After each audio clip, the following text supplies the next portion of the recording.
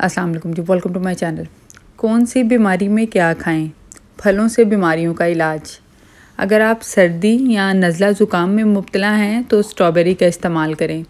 अगर डेंगू में मुबतला हैं तो पपीता खाएँ। पपीते का इस्तेमाल करें, बहुत फ़ायदा होगा आपको।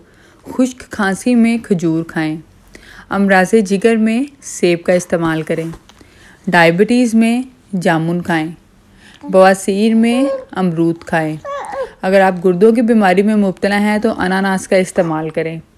मज़ीद टिप्स और रेमडीज़ के लिए चैनल को सब्सक्राइब करें, वीडियो को लाइक करें।